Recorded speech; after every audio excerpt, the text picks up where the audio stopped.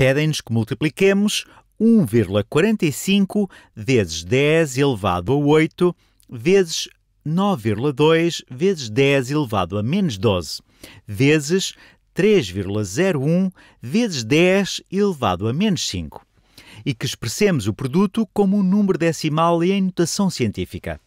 Isto é, 1,45 vezes 10 elevado a 8 vezes. Podia voltar a colocar parênteses, como aqui, mas não é necessário. Vezes 9,2 vezes 10 elevado a menos 12. Depois multiplicamos isso por 3,01 vezes 10 elevado a menos 5. Estes parênteses significam apenas que vamos multiplicar esta expressão vezes esta, vezes esta, vezes esta. No entanto, uma vez que todas as operações são multiplicações, a ordem por que as fazemos é indiferente. Tendo isso em conta, podemos alterar a ordem. Isto é o mesmo que 1,45, que é este, vezes 9,2, vezes 9,2, vezes 3,01 vezes 3,01 vezes 10 elevado a 8.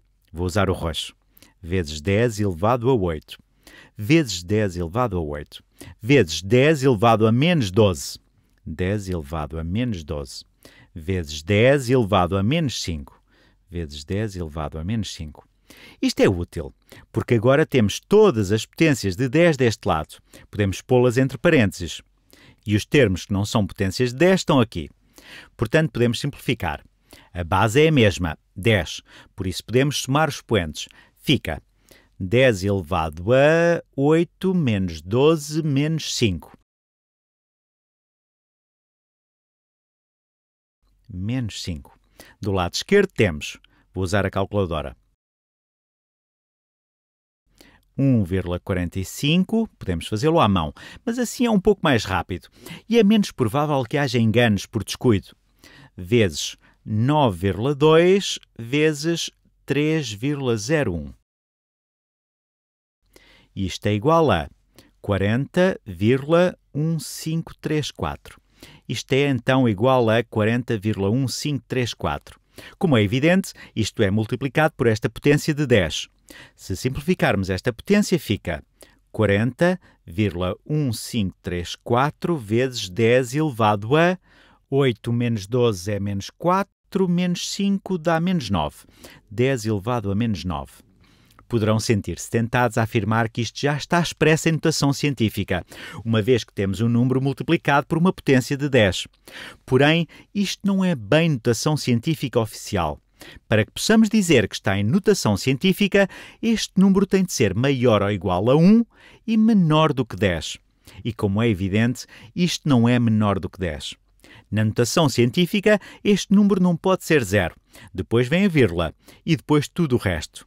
Além disso, aqui temos apenas um dígito. Aqui temos dois. Não há dúvida de que isto é maior do que 10. É maior ou igual a 10. E nós queremos um número menor do que 10 e maior ou igual a 1. Então, o melhor a fazer é expressar esta parte em notação científica. Isto é o mesmo que 4,01534 vezes 10.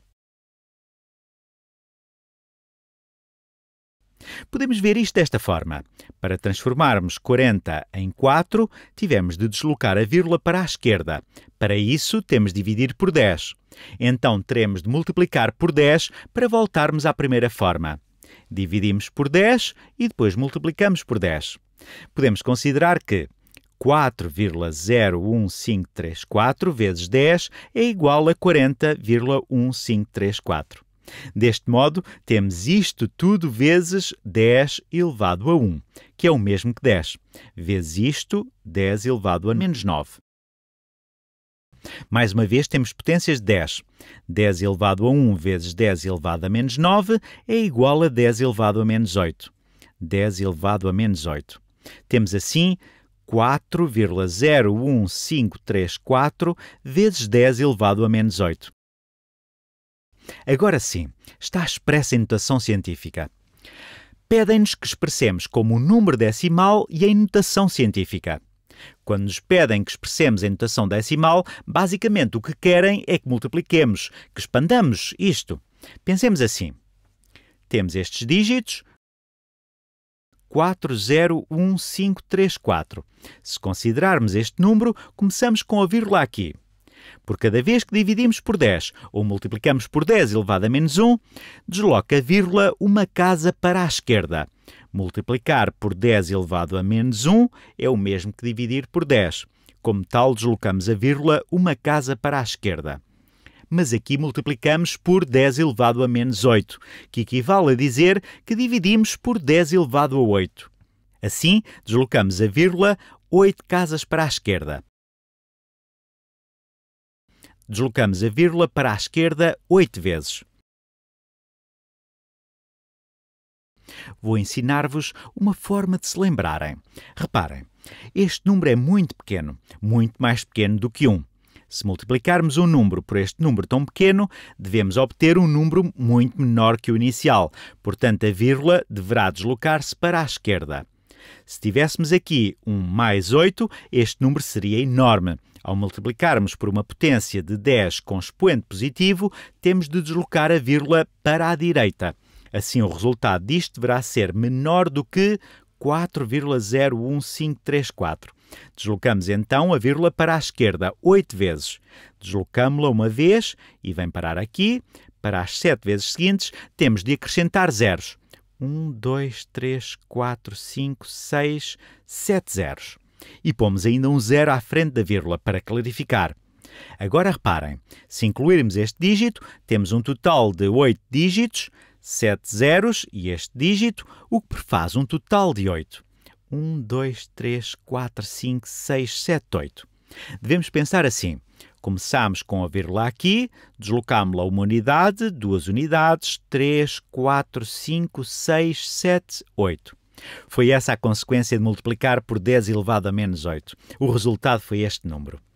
Quando vemos um número assim, começamos a dar valor à expressão em notação científica. Isto é muito mais fácil de escrever e ocupa menos espaço. Além disso, percebemos imediatamente o tamanho aproximado deste número. Esta expressão é muito mais difícil de escrever. Podemos esquecer-nos de um zero ou pôr um zero a mais. Ainda por cima, temos de contar os zeros para ter uma noção do tamanho do número. 1, 2, 3, 4, 5, 6, 7 zeros.